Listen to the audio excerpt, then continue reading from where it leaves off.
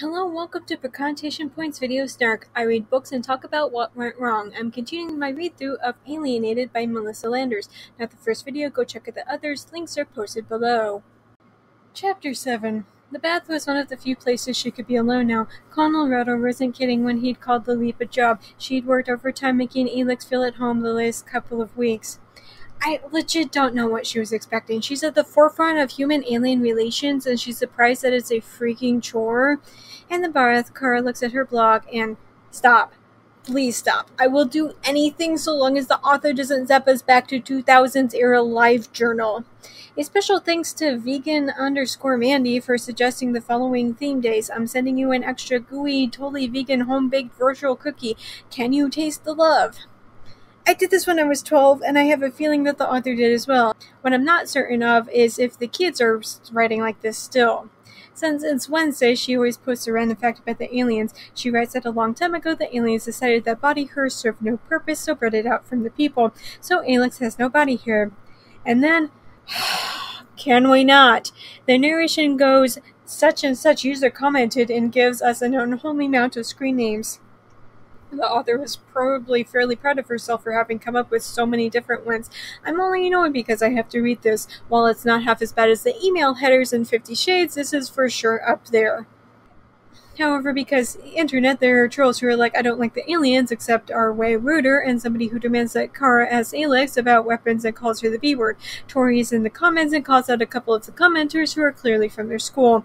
From there, it got really ugly. Who knew such an innocent bit of trivia could incite so much drama? Is this your first day on the internet? I'm surprised that nobody has compared the aliens to Hitler yet. Cara has her bath while thinking about how it's the first round of televised interviews tonight. She doesn't know what to wear, which, hmm, yeah, not touching that one. Her dad knocks on the door to tell her that Tori is there and Cara asks that Tori be made to wait in her room. When Cara gets out, she finds Tori going through Alex's things. She quickly pulls her friend out and calls her deranged for going through somebody's things like that. As they leave, they run into Alex, who says that he'd been getting some air before the interview. However, Cara knows that he's been doing that a lot and would come in covered in dirt and tracking leaves inside. Maybe he'd been secretly meeting a girl in the woods. A surge of completely irrational jealousy swelled beneath her ribcage as she reminded herself Alex didn't have any girlfriends. I'm really over the slow burn relationship in this book. The girls slip into Cara's room where Cara realizes her friend has been crying. She says that the student council arranged for meetings and failed to tell her about it, and the rule says that when you miss more than three meetings, they can kick you off from the team, so they did that. Although I have a feeling that the reason why she was kicked out is because she'd been hanging around Alex and the rest of the members of the student council are all racist. Tori says that she doesn't want to go to the teacher about it because she doesn't want to hang out with people who hate her, which is fair, and then she randomly complains that so and so was going to invite her to prom but not anymore. This is immediately followed by her begging Cara to send Aelyx packing, which exactly what part of year long exchange is confusing to Tori. The two of them fight about it, which Cara says that she's coming to tolerate Aelyx. Tori says that she doesn't like the way that he looks at Cara and, and has to demonstrate. Then she made a circle with one hand, stuck her index finger through it in an X-rated puppet show, like he wants to dock his ship instead of your spaceport. New favorite euphemism. Tori calls Alex a stalker and asks Cara if she's monitoring what she's eating and drinking and then complains that despite Cara being single now, she still doesn't get to see her friend much anymore, which I'm a hundred percent counting as a personal problem of Tori's because she came to the house and proved that she can spend time with Cara, but isn't willing to because of Alex. Tori isn't a good friend at all. She's judgmental and rude. Later, Cara sits back and watches as the camera crew comes in and starts to set up. Somebody calls her house a dub, calls her dad a dud, and calls her mom fat. Which, wow, yeah, with a frick frack patty whack. She also tells Cara not to wear the pink top she'd chosen earlier, but since the lady is so rude, it makes Cara double down and wearing pink anyway. However, her passive aggressive comments about Alex's sour rusting face doesn't exactly have the intended effect. He plays dumb when she calls him a cyborg, and the woman continues on about how advanced the aliens are, yet they look so lifeless. Cara screams at the woman to stop. The woman then says that the parents are boring and nobody would want to see them anyway. She she instead wants to create a narrative about the growing relationship between Cara and Alex. Cara gets angry when she realizes that the woman wants to literally invent an almost Hunger Games-esque narrative to paint Cara and Alex as lovers, and I think that I'm going to scream if that happens. The two kids sit next to each other, and Alex leans over to whisper into Cara's ear. On my planet, she'd never be allowed to reproduce, and no one would clone her. She's awful. I'm all in favor of breeding programs that weed out people who lack empathy and basic manners. They start the interview, but Cara is forced to lie about how normal things are despite the daily protests outside of the school. And students openly recruited new members for Halo right there in the hallway as she and Aelyx passed. They wore little gold pins in the shape of angel wings. Why would it not be a halo? It was literally right there and she missed it. Alex is asked why he was selected for the program, and he says that he has a knack for learning languages. He says that he learned English in a week and goes on to say that it's a fairly uncomplex language. And then he continues on and says that he spent another week learning about the history of Earth and warfare. He next says that he finds the colors on Earth beautiful and makes a backhanded comment about how industry is destroying the most beautiful parts of Earth. Then, much to Cara's chagrin, he tells them about how Cara had attempted to make the flatbread, but doesn't go into details other than that she tried to do it. The lady then randomly points out Cara's necklace, which exactly what kind of a rock is it that it's somehow more unique than literally any of the thousands of rocks we have here on Earth? Cara makes a mistake of telling her that Alex had given it to her for her birthday, which the lady jumps on quickly. She starts to spin it into that romance which only infuriates Cara more. The rest of the interview is glossed over. As Cara leaves, she thinks that those who aren't on Team Aliens are gonna aren't going to watch it and be convinced. She goes into her room where she starts to write another blog post in order to get ahead of how the interview might be spun. And certain journalists want you to think that I'm letting Alex stun me with his laser, if you know what I mean. Well, even if people do try to Hunger Games their relationship, at least Cara isn't going to stand for it. But I'm not sure how well that her blog post is going to go in comparison to a national broadcast, but whatever. I know that venting into the void makes anybody feel better, so okay. I know he startles her from her post and she goes to the window to check it out. She watches as a mysterious figure slips inside of the shed but then realizes that it's only Aelyx. But that only raises further questions since it's literally midnight and why is he sneaking into the shed? As she watches, he leaves and goes into the woods with a box in hand. She wonders what it could be and starts to think that maybe Tori is a little right in doubting him. Chapter 8 Cara seems to be catching on to the stuff that Alex likes to eat, such as unsalted crackers or air pop popcorn with no salt or butter.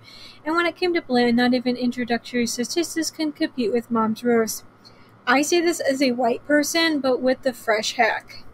Cara then offers her dad some flimsy excuses to why she needs to borrow his stethoscope and takes it upstairs to listen to Aelyx in the other room. She hears him talking to whom she assumes are the other two exchange students but can't understand them since they're speaking in their native language. But they sound relaxing or even laughing, so Cara assumes that they're just talking about dumb teenager stuff. In the few days since spotting Alex going out for his midnight stroll, Cara had been, keep- Cara had been keeping a close eye on him, but the only thing she noticed was that he was becoming more relaxed and seemed to be picking up on several Earth habits.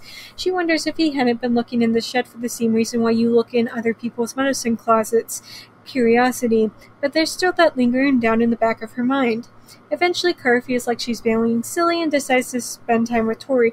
The girl had apparently also been kicked off from the soccer team too, but when she can't reach Tori via her cell or via her home phone, Cara goes downstairs to help her mom with dinner.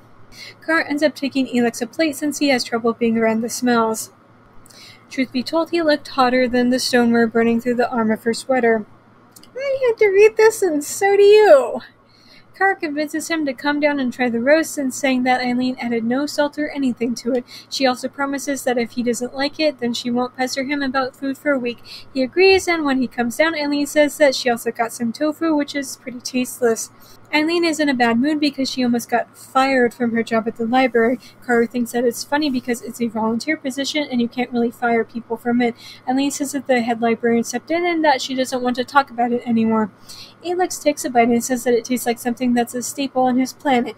Cara makes a joke that maybe her brother is up on the planet eating the food and comparing it to Eileen's roast. Phil complains that they haven't heard from Troy yet, but but Alex says that email is an outdated system and that Troy should have given the same kind of communication device Alex had been using to talk with his friends. However, as he says this, Cara knows that Alex is being nice and that there's something other than a disrupting line preventing Troy's emails from coming through, but she doesn't want to say anything and upset her mother further. Later, Cara asks her mom to make the roast every night that week, if only so that Alex can have something to eat. Chapter 9 The next morning, as they're walking to school, Brandy with an eye runs over to them. She tells Aelyx that she watched interviews through time. Aelyx doesn't seem to care. She asks about the babies on his planet and asks if it's true that the government tells you who to be with. This makes Cara think of all the teen pregnancies that happen in their town, and in this author's usual way, it comes across as too strong. Aelyx explains that before, when the breeding program was around, the government the government would pick a male and female to breed together. When Brandy expresses how horrifying then it must be to mate to mate with somebody the government picks, Aelyx is quick to say that they wouldn't have to be intimate with one another. Oh no, how barbaric and primitive. They have artificial wombs and such. Brandy asks if nobody does the do it all. Aelyx says that sometimes people do, but that it only leads to complications, which he doesn't elaborate upon. When pressed further by Cara, he says that everybody takes pills to regulate those urges, which sounds awesome, not gonna lie. Doing it is great, but it would be even better if society would stop obsessing over it constantly. He goes on to say that the government was weaning society off from those pills, though, probably because they bred out any desire to want to do it or something. Cara said Aelyx is uncomfortable with the conversation, so she asks if he's okay, that he's been sneezing a lot. Aelyx plays along and they spin the story about how Aelyx's snot gave some guy at the Leap Gala mystery rash. Aelyx acts like his bodily fluids are so different from humans that it does stuff like that. This makes Brandy freak out and run off to go wash her hands. In class, Aelyx tells them about how violence was bred out and how they take their aggressions out via sports. But mostly what seems to keep them in line is the fact that they are brought up in this super strict society that doesn't tolerate any nonsense. Our last war ended thousands of years ago. Your wars in the Middle East have barely ceased, and there's already conflict simmering again. Humans have yet to move beyond the cycle of aggression. He's right, though. Humans haven't moved on past the 12th century when we were screaming over which religious path was the right one and which skin color is the superior one. But at the same time, I'm really over the author's heavy handed social commentary, especially if she's going to be this smug about it. After class ends, the two of them wait until the room empties before going to lunch. Along the way, Cara tears down some of the Halo posters and Aelyx tells her that it's a good way to take out her aggression. Tori comes over to them and tells them that she got a note with only traitor B word on it. Cara offhandedly says that she got the same note earlier too, and, and Aelyx is upset that she wouldn't have told him. I got kicked off from student council and the soccer team. She blew a lock of hair out from her eye, but for some reason I'm still hanging out with you. I hope you appreciate this. Literally, nobody's forcing you to hang around Cara and Aelyx, so while I'm sorry people are being terrible towards you, my sympathy only extends so far, especially with a stink attitude like that, especially when the narration goes out of its way to remind the readers that Tori would like for Aelyx to return to his planet. Some school bully named Marcus comes over and gets angry that Cara was ripping down the Halo posters. Tori gets in his face for having left the notes in his lockers, but he plays dumb about that. Although there's probably a lot of people at the school who share the same feelings, so maybe he really didn't leave the notes. Although I don't know why I'm defending him. Marcus gets angry when Cara rips another poster off and shoves it into the trash. He then tells Cara that Brandy said that the alien spit was acidic and points and pointedly tells her that it might improve her face. Aelyx has stood by and said nothing during the entire exchange, but when Marcus shoves Cara, Aelyx loses it. He forcefully throws Marcus into the lockers, and naturally everybody in the hall saw the entire thing. This results in them spending over an hour in the principal's office, although Aelyx is only defending Cara. It's Marcus who should be explaining himself and being made to apologize for making school a hostile environment with hate speech. As Aelyx sits, he anticipates getting lashes. Instead, he gets an after school detention to be served with Marcus, and Marcus is suspended, which seems pathetic considering he's literally hanging up racist flyers and making threats against some of the female students. After being dismissed from the principal's office, Aelyx runs out from the school without another word and disappears into the woods. He pulls out the communication device but can only reach Eron. He complains that he can't wait another month to get off from the planet. Eron encourages him to be patient because it would be disastrous if they rushed their whatever secret project, that Aelyx needs to stop letting the humans goad out Aelyx into an emotional response. Aelyx admits that Eron is right and goes back to class while inwardly admitting that he's grown attached to Cara. Thanks for listening to my Book Snark on YouTube. New videos are up every Monday, but stick around because I sometimes drop random videos on other days too. Just as a reminder, even if you can't financially support me, there are other ways to help me out. The first is watching this video as well as all my other videos. It's also important to like and subscribe. Finally, you can share this video with all of your friends so that they can help as well. If you're already caught up with all of my videos, you can go to Tumblr for my main book snarks, always free and updated every morning. And if you've already read all of my main snarks, then you can find even more on my Patreon. You can access it for $1 a month. Members also get early access to my main Tumblr snark. Special thanks to Dawn, Phoebe, and Nikki for supporting me on Patreon already. If you want to hear your name in my video next week, either support me on Patreon or make a one-time donation. Do you like my snark so much that you want me to snark your writing? I do that too. For just $6 per chapter, I will tell you how awful that your writing is. But not to worry if you feel like you couldn't take the criticism. I also offer regular book editing as well, just one cent per word. You can contact me on any of my social media platforms if you have further questions. If you want to read some of the things that I've written, you can purchase my works on Amazon. I have a slew of erotic short stories and now two full length novels. I also sometimes run flash sales on my stores, and if you don't follow me on any social media, you might want to do so just so you can know when I might be offering more things for free. Links for everything will be posted below. See you next week, guys!